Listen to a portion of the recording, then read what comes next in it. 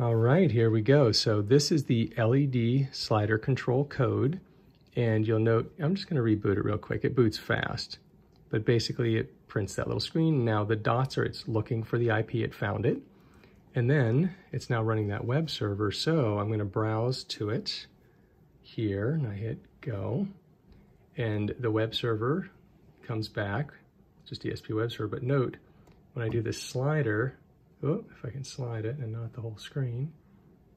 See that little red LED here coming on? And it shows the value. Let's go full blast. So I don't know if you can tell, but it's getting brighter and dimmer. There's not a lot of range. When it comes to the LED, it doesn't really have a lot of brightness, this one, but it's built right into the board on pin 13. And I thought, you know, it might be neat is right next to it. It's a little hard to see, but there's a little thing called NEO. You might see it, and it's a little tri-pixel. And that is called a NeoPixel, and it's got red, green, and blue. So I thought, you know, what might be cool is what if we could control that in each color individually? Yeah, let's check it out. Okay, I'm gonna load the other code and get right back to you. Okay, here's the new code the NeoPixel controller. There's the IP address, and I put some different color lines around the outside just to distinguish it. And now if we browse to that IP address, let's hit go. Okay, here we go. So we've browsed to the, address, and it's uh, now it's NeoPixel RGB. And note, remember the pixels next to that red LED. It's a separate one. Whoa, so hard to move this slider. There we go. So there's the red that you remember in full blast. And one thing, the numbers aren't auto updating, so I found if I refresh the browser, it refreshes. See how now it says 255? I don't know what that is. I'll take a look at that. But And then here's green, for example. See the green pixel? Turn that back off. Here's uh, the blue one. There's a little bit of blue. Now we're gonna go full blast blue. But one thing that I think is really neat is like, let's say we go, let's go back to like full blast blue you can actually turn on more than one at a time now. So there we go. So now it's kind of like a purplish color. And then if we add a little green, let's say we turn off the red, and just go green and blue. So you can kind of make like, um, like those LED strip type of things. And this code would actually work very well in, uh, you know, I'm using the integrated uh, NeoPixel, but you could easily say use pin, one of these pins that's available, and um, you could hook up an LED strip. Uh, this may not be the most cost-effective way, but if you got a really cheap ESP32 that doesn't have the screen and you got one of those strips, you could make it and control it with this code.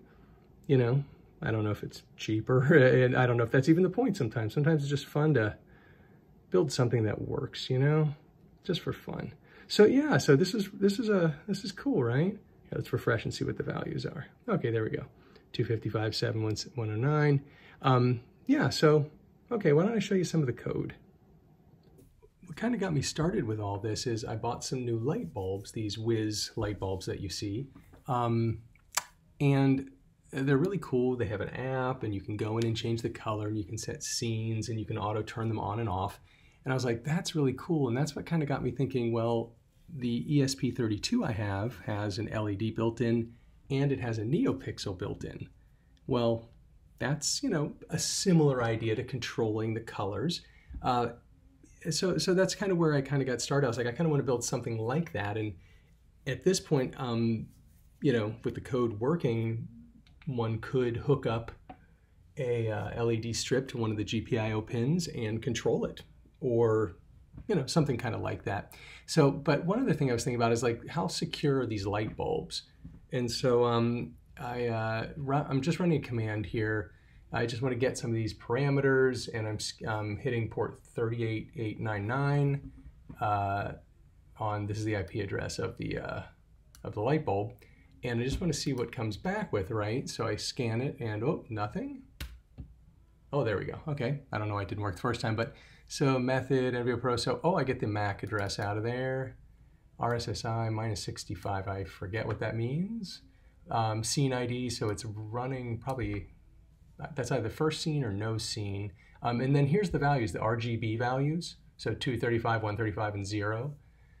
Uh, C0W140. Hmm. Um, and then dimming 100. I'm forgetting what the C and W might mean. Maybe it's, I don't know. I don't know. But interesting information. Um, I think I might come back to this later and see if there's a way to, I don't know, poke a little deeper into those. But that was just kind of a little taste, a little tester. So let's jump into some of this code. So here's the LED code. Um, uh, yeah, I uh, start off at the beginning here. Uh, Rui Santos, I started with his project, and there's a link here. And basically, I adapted it so that it'll work with my Adafruit ESP32 S2 Feather TFT.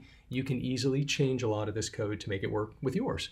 Um, on my board, I had to add, you know, some libraries to talk to my screen, and um, I had to add a definition for the TFT, you know, so that it would work.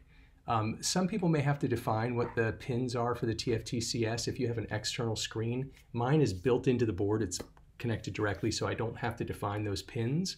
Um, I did have to define the pin, though, for the LED, which is 13 on the GPIO, even though it's built in, which was interesting. And when I get to the code where I use the NeoPixel, that I was trying to do defining a pin. That held me up for a day or two until finally I realized I don't need to define the pin. I could do it a slightly different way. And boom, everything started working. So classic, you know, things don't work until they work. And it can be a little frustrating, but that's part of the process, right? It's broken until it's fixed. So um, here we start off with this, uh, we set a variable of string slider value equals zero. So it's off when you first start. Um, this is frequency, the channel, resolution. Uh, I probably am going to start picking up speed through this just to make it go a little faster. Uh, param input uh, value is important. Uh, here we're turning, we're sort of um, setting up the web server. And here's a, a, web document. A little note, you cannot put comments in the head of this document uh, because it's all being translated differently. It is So if you put comments in, it will just print it on the screen. So no comments, sorry. That's just the way it works. Um, this prog, uh, progmem uh, equals the R and then the raw literal. Uh, a little reminder, you have to encapsulate that. Notice here's the end bracket raw literal quote. That one took me a while to realize I hadn't done correctly. and then of course, you know, head, begin head, where's end head, begin, uh, you know, body, end body. So it's, it's standard HTML with um, other things kind of tossed in here. Uh, just jumping back, here's some of the slider information and kind of the dimensions of it and how you want it to look, background colors. Um, and then here's what actually kind of prints the ESP web server and the name, you know, I just kept it the same at this point and the, the minimum maximum values. Um, this, the slider works in the LED. You may have noticed or will notice it, the slider isn't work. It works the slider, but the numbers aren't auto updating on the RGB.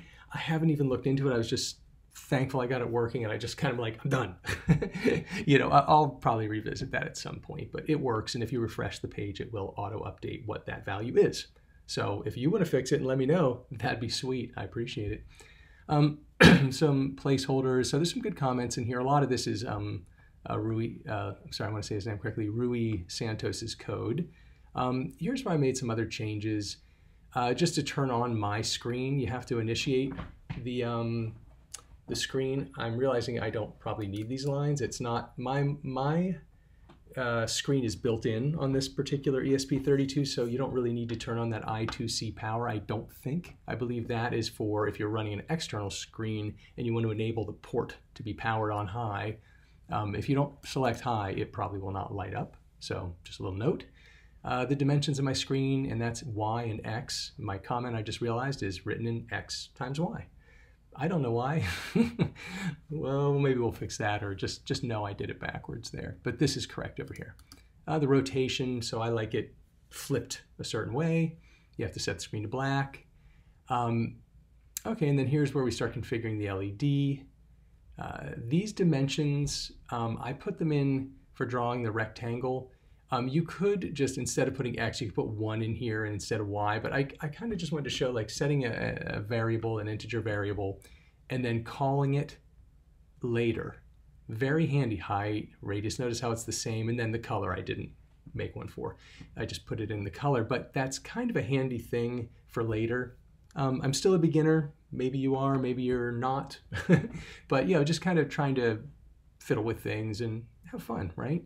So here's the, the start, and I like how I like having it print dots. That way I know it's kind of looking. And so every second as it's trying to get the um, Wi-Fi, it you know uses SSID and password. And as it's trying, when it's not connected, print dots, and then when it's connected, print the Wi-Fi IP address. And it does. So that's cool. Uh, so there's the web page, that's the root, async, etc. 200 is, um, you know, you want to send back to the browser, hey, success. Uh, and then here's the slider. It loads the slider and it's doing get requests to update it. That's kind of how it, you know, it has to, they have to talk to each other. Um, yeah, and so forth and so on. We'll just, we'll just move on to the next code here. Oh, and then at the very bottom, bottom, bottom, the very bottom, server begin. Very important. If you don't have that, it just isn't going to work. Uh, and then the void loop is empty. There was really nothing to kind of keep looping over in this particular project. And now here we are on the, um, the NeoPixel slider. This one is considerably more complicated and took me some time. So I added a, a new library for this NeoPixel, Adafruit NeoPixel.h. I believe you could probably use this on other NeoPixel devices. Um, maybe you have, maybe there's something better out there. Choose your own library, but um, again, this one is integrated, which is also a little different. I, I was trying to define instead of pin underscore neopixel, I was doing neopixel underscore pin, and I was defining it up here and saying it was, I don't know, 10, 13. I was trying all sorts of different ones, and it just wasn't working. You do. I did have to define how many neopixels I have. So num pixels is one. Um, we'll skip through. Here's the SSID password. Set the values to zero for these three colors, right? Because a neopixel is actually three LEDs, a red, a green, and a blue. And with those three colors, you can create many, many colors, right? So that's that's what a neopixel kind of is at a basic definition. Um, okay, so here it is, pixel. So this is what really tripped me up for a long time. This pin underscore neopixel. I was doing neopixel underscore pin. And so this, because it's Adafruit, it's built in. It, it isn't. I don't think it's on a separate controller, but um, it it isn't something you need to call on a separate pin. And you know how I actually, I was just stuck, stuck, stuck. I used that, was that chat GTP? Uh, and I, I sort of saying, hey, I have this board and it's not turning on. How is the NeoPixel configured? Is it on its own controller? And I was kind of talking back and forth to this bot, and then all of a sudden, kind of the light went on. I'm like, wait a minute. It, I forget. It said something like, I forget what it said, but basically, I was like, oh, it it doesn't it it ha- it doesn't need a pin if it's in, if it's on board, it's part of the board, and that is what got me over the hump. So thank you very much. that you know, and, and I've used that chat uh, GTP a few times, and I like it a lot. I don't love it because you can't really, you know, if you dump your code in, it will, you know, it doesn't really know everything you're doing, and sometimes it spits back partial chunks, but it's great for pointing you in the right direction. I did use it in several places um, in defining this line in getting um, this portion, the kilohertz and everything. I had that wrong.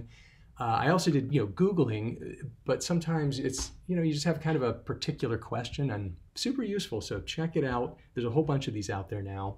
Um, they're usually pretty busy and not working. So, and buyer beware. Um, okay, so moving ahead. Uh, the web server, okay, we'll jump ahead. We already, this is um, super similar. Here's where it starts getting a little different, a little more interesting. Uh, the NeoPixel so we're calling NeoPixel and we're saying that, you know, for here we're setting values uh, for the class red, red value. And then green, you'll notice blue. Uh, the functions, um, we're updating the slider PWM and we're passing these values on. This part was surprisingly hard with the element value. I, you know, again, a noob, still learning. I hope you're learning too. And I wish you all the best. uh, here's a section that's a little unique with the pixel, the NeoPixel. You have to, you know, NeoPixel, be, uh, excuse me, pixels dot begin. Then I set the brightness to 50, which is half. These things get bright. Oh my goodness. So that's the max. I could pump it up to 100, but it's just kind of burns your eyes a little bit in a good way, in a good way. And then we clear it, and then we do a show. Uh, delay, uh, again, this is just more of my screen stuff. Um, here's where I, I just want to make it look a little pretty on the screen. So I'm drawing these round rectangles and that's um, X and Y coordinates. Oh, here, if we mouse over, it's awesome. One thing I like about this Arduino IDE that I'm using, where was it? Okay, it shows like here's the different fields. Right down at the bottom, if I move my mouse, I'm afraid I'll lose it. But if you look at the bottom line, void, draw rect, round rectangle, x, you know, int 16 underscore t, x, then y, and if you move to the next section, width, height, radius. So x, y, width, height, and radius, and then color. Pretty cool that you can just kind of, you know, I kind of put them on there and sort of like, yeah, I like the way that looks. Oh, let me move this over a couple pixels. Super easy, super fun. Gives it a little more flavor. Um, okay, here's the usual starting Wi-Fi stuff I like to do. I changed it just a hair to kind of reflect what we're doing. Ah, server on. So now we have a root, you know, again, and then we have a slider, but these are considerably different because uh, we want to deal with the red value it was mentioned above and then we also are you know we're doing a replace and uh, red value and then down here we need to we had to I had to define a lot of strings and that the previous one I think just had input message defined but I had to do red green blue output and then color param that took a you know it took a chunk to figure out for me uh, and then we start saying down so like you know, if request if the amp parameter input which is commented up above um, you know the message the value pass the value set it to that color and if it's um, you know if it's red uh, you know, the red value from the input message, red, red, then set pixel colors accordingly, right? So, and then, um, and then at the end, say pixel show. That one, again, got me. a lot of gotchas in this one. Uh, so, and then you actually have to send the response. That's the other one. You got to send the response. So it, the code works. Um, please fiddle with it. And thank you again, Rui Santos. You're awesome. Really got me started on this. I don't know where, I wouldn't have known where to start. Uh, and that's, you know, I, I, recommend people go out there and find code people have written and take a look, you know, build on what they've built on, you know, stand on the shoulders of giants and all that good stuff and, and enjoy it. And uh, don't be afraid to Google or use that chatbot thing or ask questions or fail because this this one, this is probably my sixth or seventh version of the code to finally get it to work. Now it may have worked a couple versions ago, like I said. This this thing was just, I don't know, I just hit a roadblock on that. That was just the way it was. But um, I hope you enjoy. Take it easy. Talk to you later.